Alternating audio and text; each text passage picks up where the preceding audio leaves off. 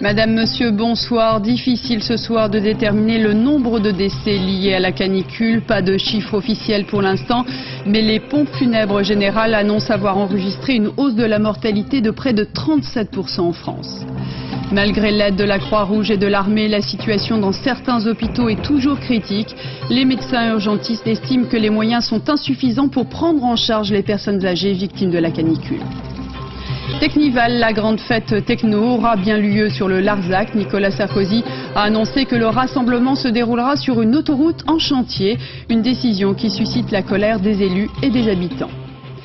Après le Beaujolais, c'est le Bordelais qui lance le coup d'envoi des vendanges. Cinq domaines ont obtenu des dérogations pour commencer la récolte avec trois semaines d'avance.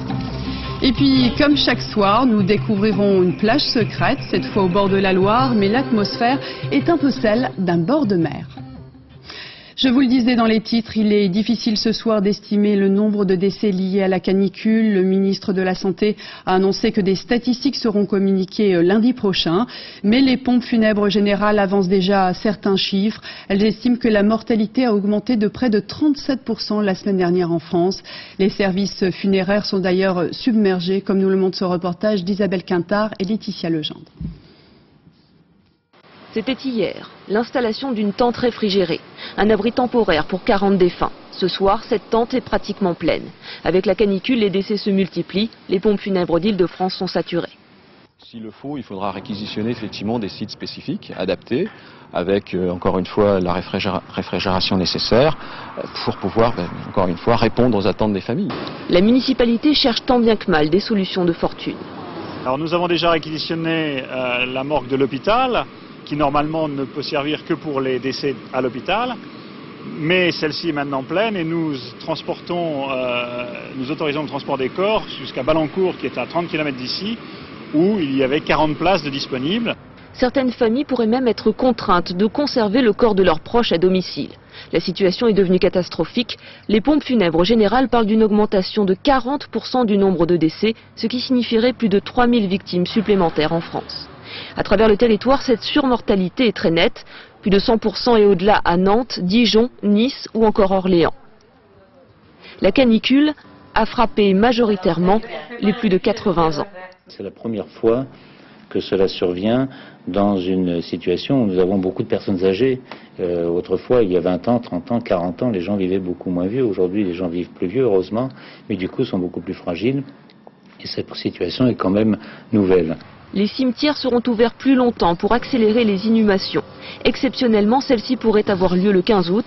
En France, plus d'un million de personnes seraient considérées à risque. À la demande des médecins urgentistes, la Croix-Rouge a envoyé aujourd'hui 150 bénévoles dans 13 hôpitaux de la région parisienne. L'armée a mobilisé une soixantaine de lits pour l'ensemble du territoire. Malgré ces renforts, les services d'urgence restent submergés et les médecins estiment qu'ils n'ont pas toujours les moyens de faire face à la situation. Vanessa Rouet, Patrice Acher. Les pompiers rafraîchissent le hall des urgences de l'hôpital Saint-Antoine. Malgré la légère baisse des températures en région parisienne, les urgences sont submergées. Depuis ce matin, cinq bénévoles de la Croix-Rouge soulagent un personnel soignant exténué.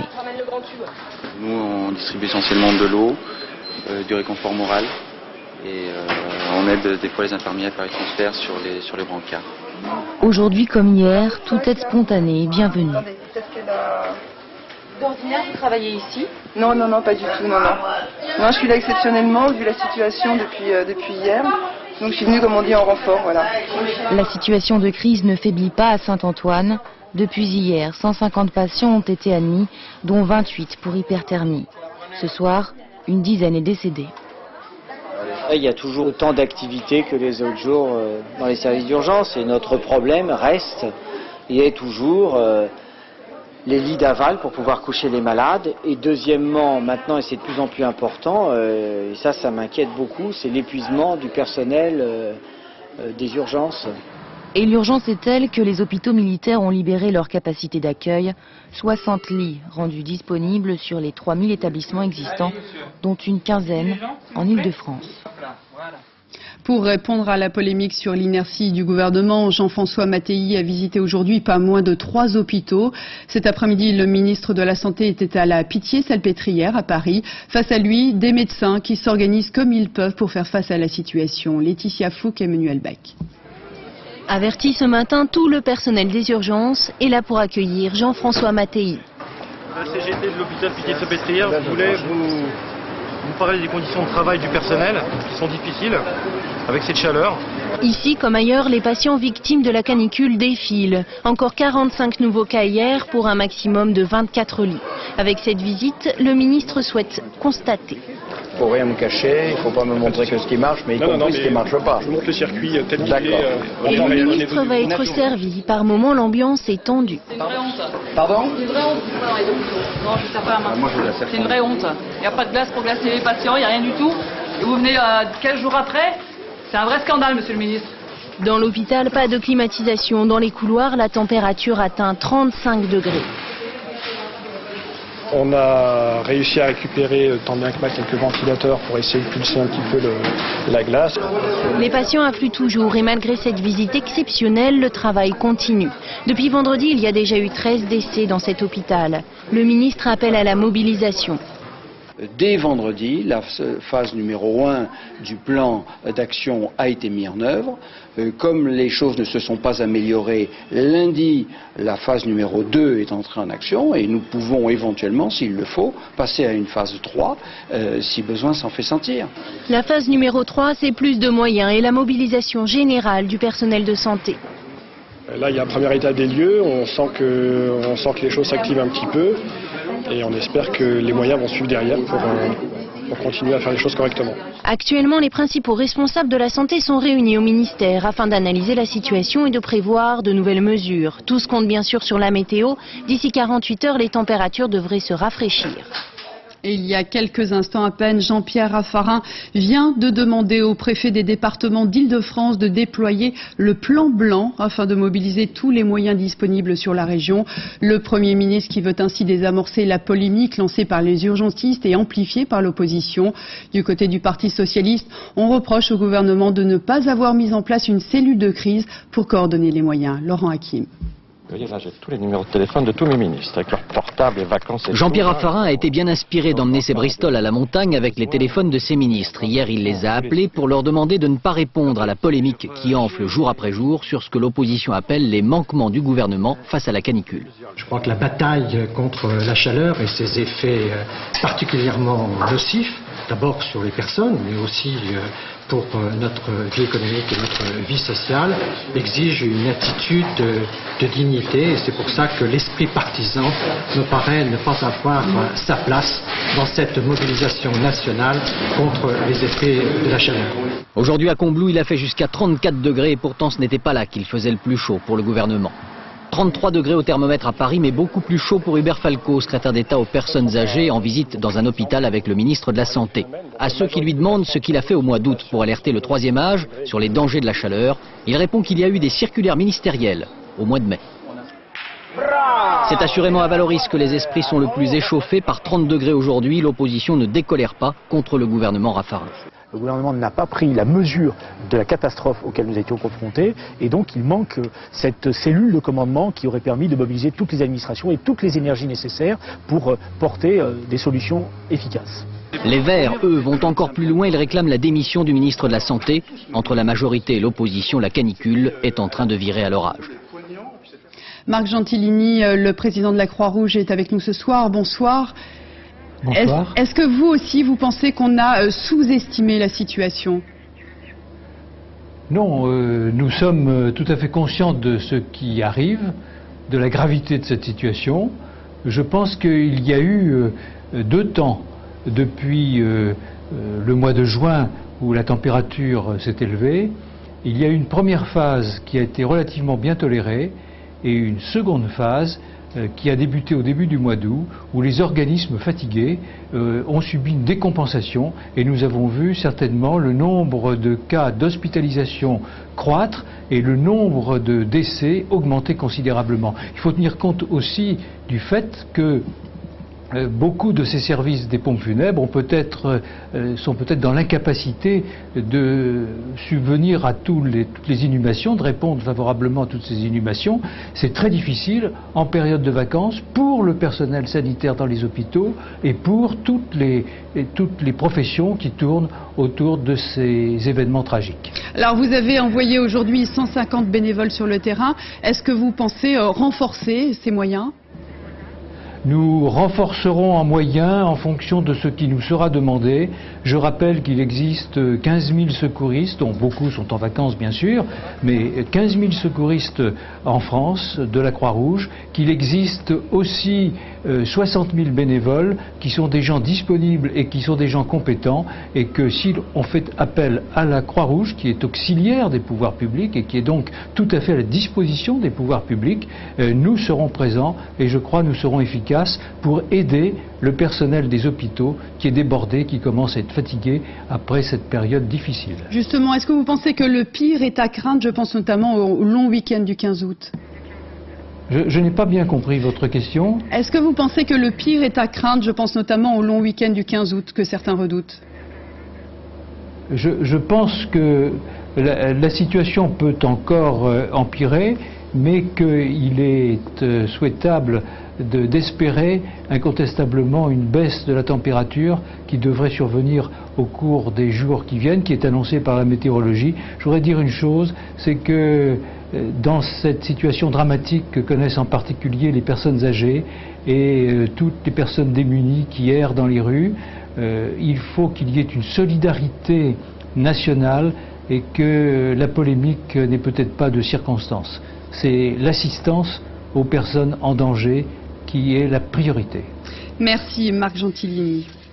Cette situation tendue dans les services d'urgence a amené un certain nombre de personnes à se mobiliser en amont pour prévenir les risques de déshydratation.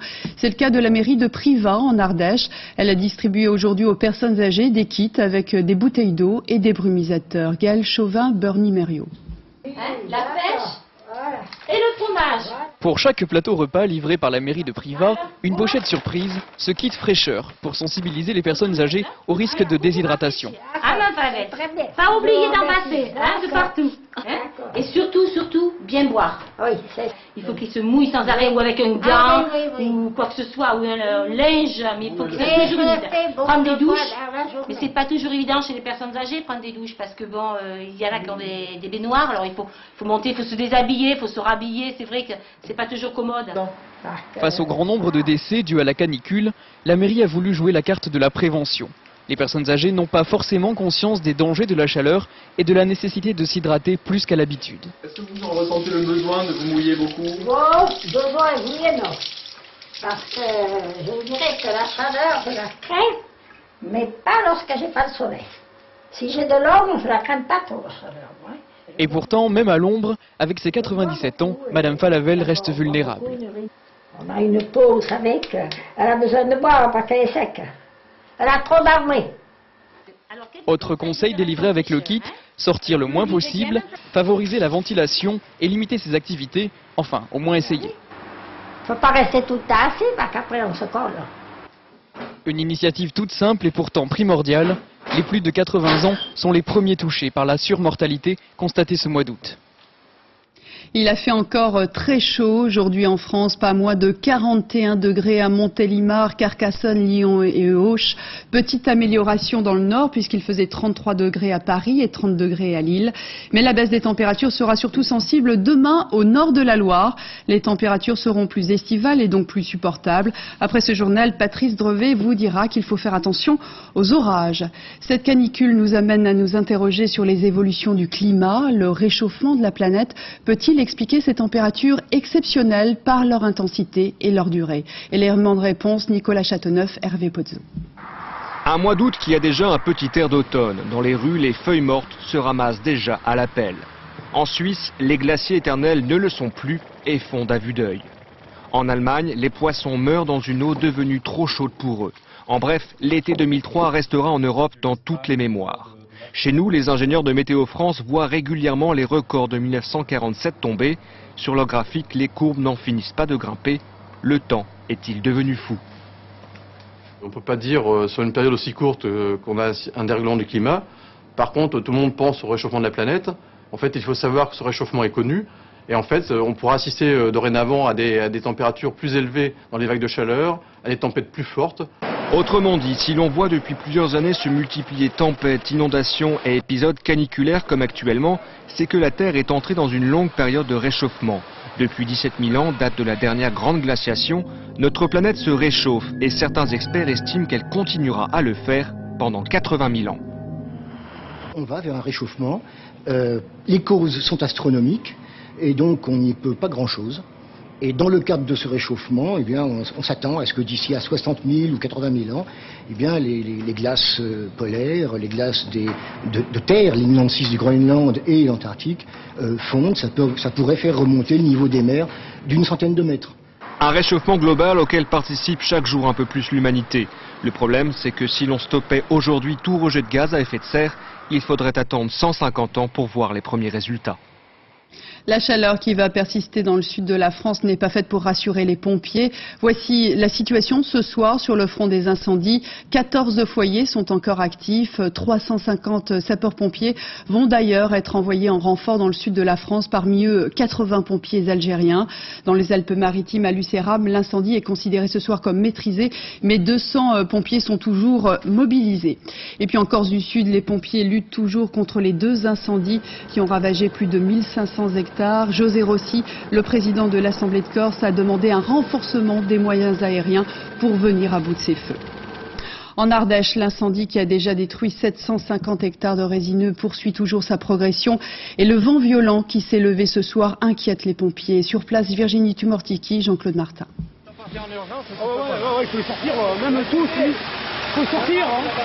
Se replier pour fuir les flammes, le feu grignote la montagne à toute allure. La difficulté pour nous, c'est la vitesse où va le feu, où progresse le feu. Donc les sauts de flamme surtout, le saut de feu c'est très important. Dimanche, quatre impacts de foudre déclenchaient l'incendie. À l'heure actuelle, 750 hectares de résineux partent en fumée. Au total, c'est 15 km de lisière qu'il faut surveiller. Pour la route, c'est facile. la route, euh, il y a peu de chances qu'ils traversent. Simplement, il faut éviter qu'ils reprennent de l'autre côté. C'est tout.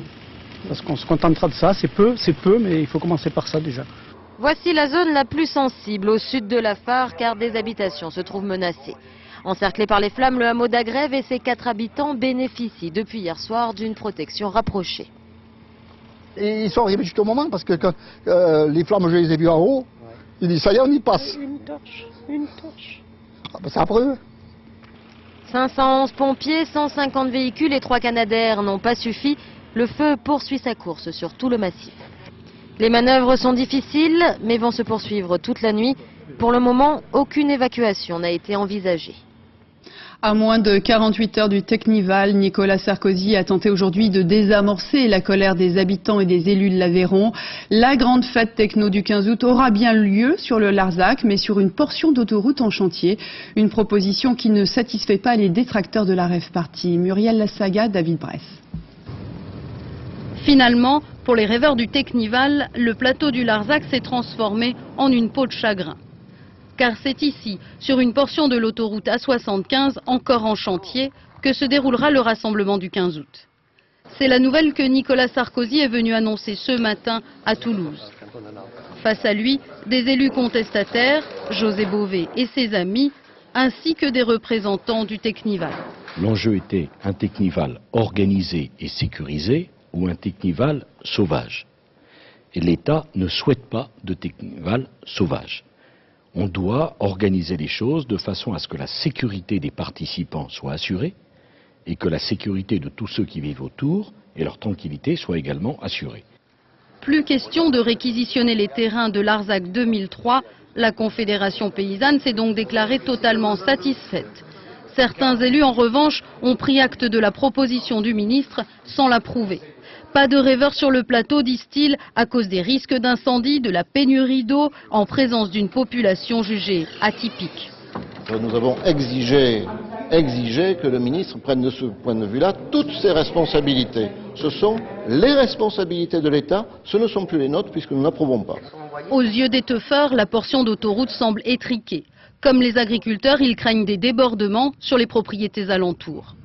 Soit c'est euh, au milieu des tas de graviers, soit c'est sur l'autoroute, le, goudron de l'autoroute. Voilà.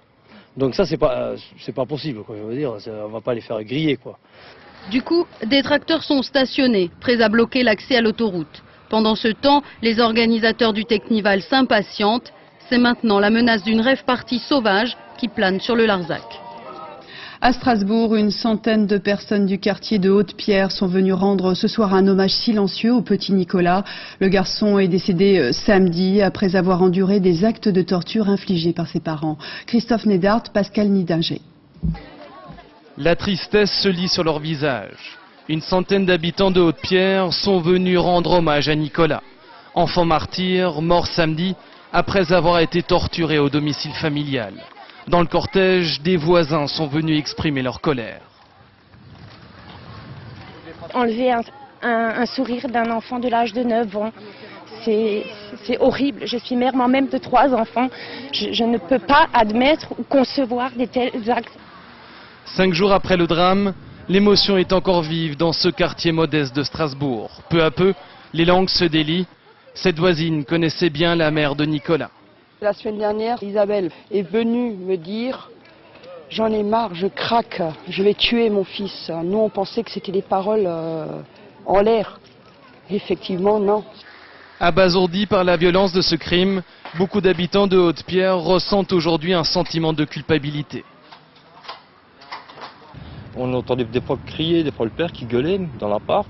Mais le problème, on ne savait pas c'était par rapport à quoi, on ne savait pas ce qui se passait vraiment, on ne pouvait pas voir de l'intérieur se sent indirectement fautif aussi de pas peut-être euh, qu'on n'ait pas pu réagir de ce côté-là. Aujourd'hui, c'est tout un quartier qui porte le deuil. Un quartier qui longtemps encore sera hanté par le visage de cet enfant de 9 ans. L'enquête française sur la mort de Marie Trintignant pourrait s'accélérer euh, lundi avec le possible départ en Lituanie de la juge parisienne. À Vilnius, les autorités ont donné l'autorisation à Bertrand Cantat de recevoir la visite de deux membres de sa famille, Chloé Millard son frère, sa sœur et son ex-femme. Bertrand Cantat a pu rencontrer hier les membres de sa famille. Ils sont entrés chacun leur tour dans l'hôpital de la prison de Vilnius où est détenu le chanteur français. À la sortie, Xavier Cantat s'est contenté de quelques mots en anglais aux médias lituaniens qui suivent de très près cette affaire. Les conditions de sa détention sont bonnes, mais il souffre beaucoup psychologiquement de cette tragédie. Uh, C'est une histoire terrible, pour nous tous, et pour lui évidemment. Bertrand Cantat pourrait également rencontrer lundi la juge française chargée du dossier. L'arrivée de la magistrate à Vilnius accélérerait l'entraide judiciaire entre les deux pays. En communiquant les résultats de l'autopsie faite à Paris, la justice française espère un geste des autorités lituaniennes, même si elle n'ose plus croire à une extradition de moins en moins probable. Au moment où les États-Unis sont très inquiets sur les menaces terroristes, le FBI vient de piéger trois personnes qui s'apprêtaient à vendre un missile solaire, une arme très prisée par les terroristes pour viser les avions. Ce trafic inquiète particulièrement les autorités car ces armes sont vendues au marché noir. Pascal Golomer. Après plus d'un an de secret, les enquêteurs peuvent enfin savourer leur succès devant les caméras. Les terroristes ont aujourd'hui perdu un allié dans leur guerre contre les États-Unis. Et cet allié, c'est Ekmat Lakani, un trafiquant d'armes britanniques d'origine indienne, arrêté hier dans un hôtel près de l'aéroport de Newark, tout comme ses deux complices, installés eux à Manhattan, qui étaient visiblement chargés de blanchir l'argent de la transaction. Le trafiquant croyait négocier depuis des mois avec des terroristes islamistes la vente de missiles sol-air. En fait de terroristes, il s'agissait d'agents du FBI et le piège s'est refermé sur lui. Une opération rondement menée en coopération avec les services secrets russes. Jouant les faux vendeurs d'armes, ils ont fourni aux trafiquants le modèle de missile qu'ils recherchaient, un missile factice en fait, livré dans un port américain. Un premier paiement de 500 000 dollars devait avoir lieu hier. Il devait s'agir en fait d'une avance pour une commande portant sur un nombre total de 50 missiles. Ces missiles sol-air, légers, peu coûteux et faciles à acquérir, c'est l'arme idéale pour les terroristes, qu'il avait utilisé en novembre dernier, au Kenya, pour tenter de détruire un avion israélien au décollage. Tir manqué ce jour-là, heureusement. Mais la menace est telle que certains préconisent l'installation sur chaque avion de ligne américain d'un système de défense antimissile comme celui dont dispose le président des États-Unis sur son appareil Air Force One.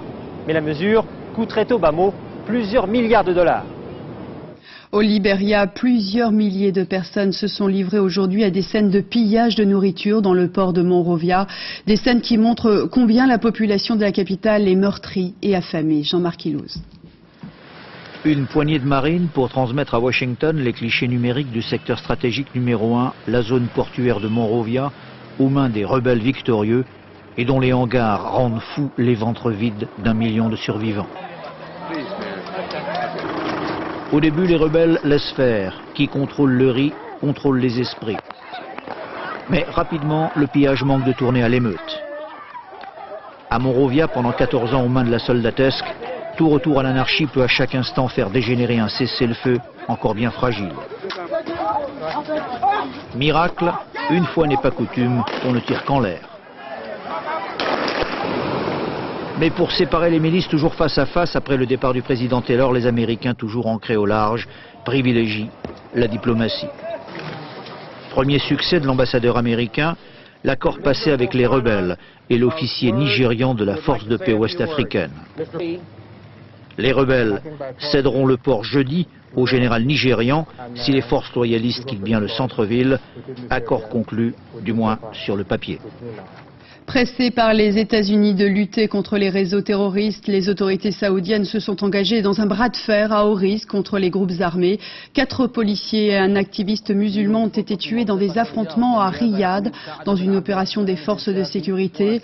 La compagnie aérienne British Airways a d'ailleurs annoncé la suspension de ses vols avec l'Arabie saoudite à cause de ces problèmes d'insécurité. En Irak, trois soldats américains ont été tués aujourd'hui, victimes d'attaques. Et puis, à Bagdad, un enfant a été tué et quatre autres personnes blessées aujourd'hui par l'armée américaine au cours d'affrontements dans le quartier chiite de Sadar City. Les heurts ont éclaté au moment où les militaires américains ont retiré un drapeau chiite d'une tour de communication, un geste interprété par les Irakiens comme une provocation. Mardi matin, une tornade a touché la plage de Miami au sud de la Floride. Aucune perte n'est à déplorer. En revanche, beaucoup de, euh, de dégâts matériels et des images bien sûr impressionnantes. Un, un, an, jour pour jour de l'ouverture des Jeux Olympiques d'Athènes, la capitale grecque n'est encore qu'un immense chantier. Pour l'instant, seul un bâtiment a été achevé, mais le comité organisateur affiche une confiance inébranlable et assure que les travaux seront terminés à temps. Grégoire Tournon, Antoine Marguet. La flamme olympique est allumée, mais les travaux d'Hercule sont loin d'être terminés. Athènes 2004, un vaste chantier. Un an jour pour jour du début des Jeux, la capitale grecque est livrée aux grues et aux pelleteuses. Peu de sites olympiques sont opérationnels, seul le village qui accueillera les athlètes semble prêt. Le retard inquiète, la presse grecque met en garde contre les risques d'humiliation générale et envers et contre tous les organisateurs affichent leur optimisme. Vous savez, je ne connais aucune organisation dans le monde qui puisse dire un an des Jeux, tout va bien, on est relax. Mais je ne suis pas inquiète. Pour accueillir les JO, lifting obligatoire. Métro, tramway, route, des centaines de kilomètres d'équipements à créer. Une obligation pour réduire pollution et embouteillage, mais là aussi, les délais sont loin d'être respectés. Retard également pour la construction de l'aéroport international. Autre priorité, augmenter la capacité hôtelière. Avec 2 millions de spectateurs attendus, les Grecs astucieux ont affrété 11 paquebots. Des hôtels flottants qui mouilleront dans le port du Pirée, dont le Queen Mary II, tout juste sorti des chantiers de Saint-Nazaire. La Grèce est le berceau de l'olympisme, mais beaucoup se demandent si ce choix était judicieux. Depuis Helsinki et la Finlande, on n'a pas eu un aussi petit pays qui organisait les Jeux d'été. Un petit pays qui est un peu à la traîne de l'Europe, euh, qui a une économie très faible, qui a une population très restreinte et qui doit organiser cet immense barnum qui normalement est dévolu au pays grosso modo du G8. Quoi. Un retard exceptionnel, mesure exceptionnelle, le Parlement vient d'autoriser le travail 24 heures sur 24 et 7 jours sur 7 sur les chantiers olympiques. Dernier point noir, le choix de certains sites des épreuves. Exemple, avec l'aviron, le plan d'eau est trop exposé au vent. Résultat, lors des compétitions test, les bateaux se sont retournés. C'est une petite révolution dans le monde du football masculin. Pour la première fois, une femme va arbitrer demain une rencontre de Coupe d'Europe. Derrière le sourire charmant de cette Suissesse se cache une jeune femme très déterminée qui a su se faire respecter dans le précaré des hommes. Julien Beaumont. Embarquement immédiat pour la gloire, direction la Suède. Nicole Petigna va devenir la première femme à arbitrer une rencontre masculine de Coupe d'Europe. Les hommes sont prévenus, attention à la Suissesse de 36 ans. Ce que je trouve bien en Suisse, c'est que les joueurs et les entraîneurs, ils ne me prennent pas pour une femme, ils me prennent pour un arbitre. Et j'espère qu'à Stockholm, on fera comme ça, qu'on ne prendra pas pour une femme, mais pour, pour un arbitre comme tous les autres. Un arbitre qui a su se faire respecter en 4 ans de première division suisse. Énergique, autoritaire, elle n'hésite pas à expulser ceux qui discutent ses décisions. Mais surtout, elle est la seule arbitre que certains joueurs peuvent embrasser à la fin du match. La photo a fait le tour des journaux. Ce jour-là, à l'issue du match, l'un des joueurs, Ronko Popovic, m'a embrassé la main. J'ai été surprise. C'est vrai que c'était un peu exubérant, mais c'était sa façon à lui de me dire merci. Meyer, son mari, prend ça avec le sourire. Le football de haut niveau, lui aussi, il connaît. C'est l'un des meilleurs arbitres au monde. Et à ce titre, il côtoie régulièrement les stars du ballon rond. Pas de quoi impressionner madame. L'ambiance surchauffée d'un stade, elle connaît elle aussi. Il y a 4 ans, elle a arbitré la finale du mondial féminin devant 80 000 spectateurs. Mardic en Côte d'Opale, une ville plus connue pour ses usines de pétrochimie que pour sa plage. Et pourtant, tous les jours en été, des baigneurs viennent se prélasser sur ce site classé zone à risque. Pour eux, l'industrie fait partie du paysage, alors on fait avec. Amaury Hibert, Philippe Quéroux. Du sable, une séance de pâté, c'est un vrai décor de plage en été. Sauf que derrière la digue, la vue n'est pas vraiment paradisiaque. Sur plusieurs kilomètres, la plage est bordée d'usines pétrochimiques. Un site Céveso théoriquement interdit aux estivants, c'est du moins ce que disent les panneaux, sauf que le message ne passe pas vraiment. Là, en montant là, euh, au niveau de la digue du Brec, on voyait qu'il y avait un panneau euh, attention danger euh, pour risque industriel et compagnie. Donc là, j'ai eu un petit doute, hein, j'ai mis un petit frein. Quoi. Et en rentrant ici, voyant qu'il y avait quelques voitures, j'ai dit bon allez, on y va. Quoi. Tony s'est donc installé avec sa femme, ses deux enfants, les pieds dans l'eau. Et ils sont nombreux à faire pareil depuis des années. Beaucoup d'habitués qui apprécient l'espace, le calme et qui préfèrent ignorer les usines derrière. Peu importe l'endroit où on va, il y a toujours, euh, toujours quelque chose. Hein. Si on veut, on reste chez soi, puis on bouge plus, quoi. on reste, euh, on reste pas train. Vous faites face à la mer et vous les laissez derrière. Voilà, voilà exact. On les ignore. Maman, on, on, on profite de la mer. Face à la situation, les communes de la côte ont opté pour la tolérance, à défaut de pouvoir réellement interdire les zones dangereuses. On ne peut pas tout surveiller. On a 15 km de plage, on a 8 km de zones aménagées surveillées. Malheureusement, on ne peut pas être partout. La digue du Brec, c'était une digue euh, qui mesure euh, entre 10 et 15 km. Impossible d'interdire, mais un aménagement est en cours. Le plan qui prévoit l'organisation des secours en cas de catastrophe devrait être modifié pour prendre en compte la présence des vacanciers. Après le Beaujolais, c'est le Bordelais qui lance le coup d'envoi des vendanges. Là encore, la chaleur exceptionnelle a accéléré la maturation du raisin. Euh, cinq châteaux ont obtenu des dérogations pour commencer la récolte. Des viticulteurs euh, pris de court qui ont dû faire appel à des vendangeurs débutants. Pauline Revenat, Christian Gallet. Château Aubryon, l'un des crus les plus prestigieux du Bordelais. À 7 h du matin, pour le premier jour des vendanges, on embauche 50 personnes. Mais cette année, chefs et ouvriers ont un peu été pris de court. Les habitués sont encore en vacances, alors il a fallu faire appel à d'autres mains. Il y, a, deux choses. Il y a, votre état à vous, mais il y a surtout aussi l'état du raisin. Hein. Euh, on va essayer de ne pas le ramasser trop trop chaud. Pas de temps à perdre pour vendanger le Sauvignon. Les raisins sont bien mûrs, près de 14 degrés d'alcool si mûrs qu'il a fallu demander une dérogation, des conditions jugées exceptionnelles. On a commencé les vendanges ce matin et ça s'est pas vu depuis 110 ans puisque les dernières vendanges euh, aussi précoces, il faut remonter en 1893, donc le, qui était, on avait commencé le 15 août, donc c'est du jamais vu, c'est un moment historique. Historique et surtout médiatique. Pour immortaliser les fameuses grappes, on vient même de très loin. Drôle de ballet au milieu des vignes. Parmi les vendangeurs, beaucoup d'étudiants comme Anne-Sophie. Pour elle, c'est la première fois et en bonne élève, elle suit les conseils. En général, il faut enlever la pourriture, c'est ce qu'on m'a dit. Et puis, euh, sauf qu'ici, euh, il y, a des grains de raisin qui sont un peu flétris. Donc, il ne faut pas qu'il y ait trop de sucre dans le raisin, sinon euh, ça, ça alcoolise trop. Trouver l'équilibre entre alcool et acidité, c'est le rôle du chef de culture. Cette année, avec la canicule, il a un peu perdu ses repères. On ne sait pas ce que ça va donner, ça ne pourra pas faire du, mauvais raisin et donc du mauvais vin. Mais est-ce que ça fera du grand vin? Euh, On ne le sait pas non plus. Après le blond viendra le tour du rouge. Les premières parcelles de Merlot devraient être vendangées à la fin de la semaine prochaine, avec plus de 20 jours d'avance. Ce soir, nous faisons une halte dans le premier port de commerce français de tout temps. Le Havre a orienté son économie vers la mer. Diego Garcia, Delphine Détry.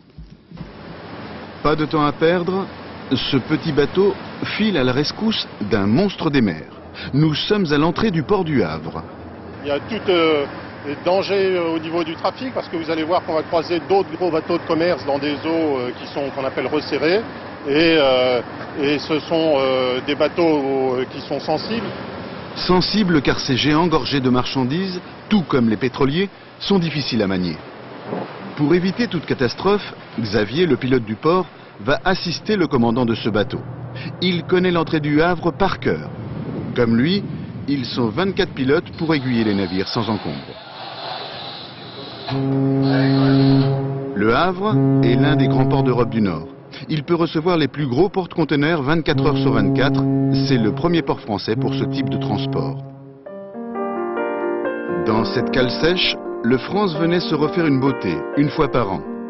Le France, issu d'une prestigieuse lignée, symbole de la technologie française des années 60, fleuron du monde transatlantique. Plusieurs pages de l'histoire maritime française ont été écrites au Havre. Elles débutent souvent avec la traversée des paquebots. Edmond Béchauffeur était l'un des commandants en second du France. Il se souvient de cette époque révolue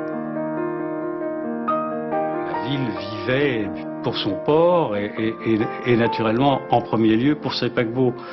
Pourquoi? Parce qu'il y avait une sorte de prestige fabuleux autour de, ces grands navires euh, qui apportaient euh, du prestige à la ville et au port, qui apportaient aussi des emplois. Aujourd'hui au Havre, un emploi sur trois dépend du port. Avec sa future extension, l'activité devrait doubler dans les dix ans. Désormais, les ferries ont remplacé les transatlantiques. Mais sur la plage du Havre, ils ne font pas rêver les baigneurs. L'opération Paris-Plage prendra fin dimanche prochain, en fin d'après-midi. En attendant, les Parisiens et les touristes profitent des quais de Seine le jour, mais aussi la nuit. On y vient pour boire un verre, faire la fête ou tout simplement s'offrir une petite balade romantique. Julia Delage, Romain Potoki. C'est la balade au clair de lune, mais pour le bain de minuit, il va falloir attendre. À l'horizon, la Seine. Toutes les nuits, Paris-Plage séduit les noctambules, on danse, on drague, et du coup, les quais prendraient presque un petit air de bord de mer. C'est bien, c'est bien, c'est cool. Il n'y a pas de voiture qui passe. On se rien à la campagne. Hein. Début de la nuit, les quais sont comme une salle de jeu ou un petit salon. C'est encore l'heure où l'on tente de faire connaissance. On rencontre plein de monde, des Portugais, des Italiens, des Anglais. Plus tard, c'est l'heure où tous ceux qui ont eu peur de la chaleur viennent se donner en spectacle.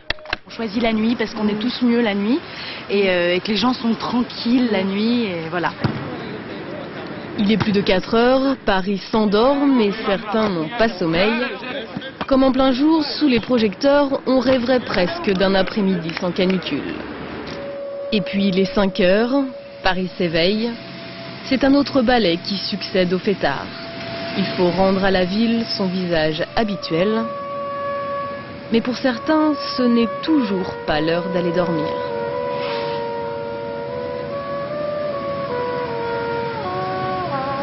On gêne à peine les voisins et, on a des, une caisse de résonance magnifique. La, vibration de la scène, le retour du son, c'est hors norme. Un vaste et tendre apaisement semble descendre du firmament. La ville irise, c'est l'heure exquise, comme le disait Verlaine il y a plus d'un siècle. Loin de la plage de Mardic et de ses usines, nous poursuivons notre découverte des plages secrètes. Dans les gorges de la Loire, une retenue d'eau a été aménagée pour accueillir les vacanciers. Une petite plage de rivière qui, vous allez le voir, a tous les charmes du bord de mer. Reportage près de Saint-Étienne, Virginie Fichet, Thierry Simonet. Couchée dans le lit de la Loire, l'île Grand-Jean veille sur le fleuve depuis le XIVe siècle. Le passé de ces gorges est avant tout religieux. Temples, chapelles, pèlerinage, on dit ici que le site est si beau qu'il incitait les dieux à s'y installer.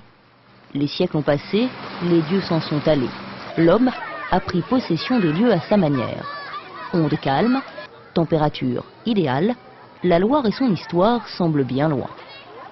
Il n'y a pas les vagues, il n'y a pas le sel, mais sinon euh, on, est presque à la mer. Ouais. On se baigne, on bronze, on fait des châteaux, on fait des tunnels, tout. Comme à la mer Comme à la mer, hein. On s'y croirait en effet. La plage, ses plaisirs, ses menaces et même ses sauveteurs en short rouge. De début juillet à fin août, ils ont l'œil partout. Interdit Vous pouvez rentrer sur la plage s'il vous plaît? Ouais. Ouais, ouais, ouais, ouais. Peu de touristes s'égarent ici. Aménagée il y a plus de 30 ans, la plage de Saint-Victor-sur-Loire est surtout connue des habitants de Saint-Étienne. Le centre de la ville n'est qu'à 15 km. Ça nous permet de sauter, d'être au bord de la mer en quelques minutes, euh, donc pour euh, de moindres frais quoi. On est près de chez soi, alors on vient facilement quoi. Bah, comme on travaille, donc on n'a pas le temps de partir en vacances, donc le seul endroit c'est Saint-Victor. Hein. À deux pas de l'effervescence des baigneurs, un paisible port dans un écrin de verdure, source permanente de dépaysement pour les plaisanciers. On a une grande distance, donc on peut faire du ski nautique, il y a beaucoup de baignades, il y a beaucoup d'endroits, des petites criques, un peu comme sur la côte d'Azur. Hein. Voilà sans doute pourquoi les 300 anneaux du port sont presque aussi convoités que ceux des pontons du littoral. Actuellement, euh, le, port est, plein. Euh, donc nous avons une liste d'attente d'une dizaine de personnes. Comme un bras de mer qui se serait égaré dans les méandres de la Loire, Saint-Victor passe ainsi ses étés. À son décor ne manquent que les embruns et le chant des mouettes. On a appris le décès de l'auteur-compositeur Jean-Dré Jacques. Vous ne connaissez peut-être pas son visage, mais vous avez certainement fredonné ses chansons Sous le ciel de Paris, La chansonnette, L'homme à la moto ou Le petit vin blanc. Juliette Gréco et Edith Piaf ont contribué à rendre célèbres ces chansons. Voilà, c'est la fin de cette édition. Merci à vous de l'avoir suivi. Tout de suite, les prévisions météo de Patrice Drevet. 20h55, votre téléfilm Un été amoureux. Minuit 10, le dernier journal vous sera présenté par Jean-Claude Renaud. Et on se quitte sur les images d'une adoption insolite. Dans un zoo de Londres, une maman dalmatien a recueilli cinq lionceaux abandonnés par leur mère naturelle. Excellente fin de soirée sur France 2. À demain.